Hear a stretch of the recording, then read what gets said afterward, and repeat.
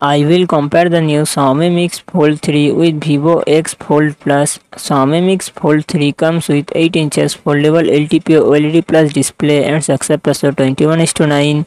Vivo X Fold Plus comes with 8 inches foldable LTPO AMOLED display and success ratio 21 to 9. Xiaomi Mix Fold 3 run on the Android 13 operating system. Vivo X Fold Plus run on the Android 12 operating system. Xiaomi Mix Fold 3 it comes with 12GB, 16GB RAM and 256GB, 512GB, 1TB internal storage, Qualcomm Snapdragon 8 Gen 2 processor, 8 GPU Adreno 740. Vivo X Fold Plus it comes with 12GB RAM and 256GB 512GB internal storage Qualcomm Snapdragon 8 Gen 1 processor and GPU Adreno 730 Xiaomi Mix Fold 3 real set quad camera setup 50 megapixel plus 10 megapixel plus 10 megapixel plus 12 megapixel then front camera 20 megapixel. Vivo X Fold Plus real set quad camera setup 50 megapixel plus 8 megapixel plus 12 megapixel plus 48 megapixel then front camera 16 megapixel.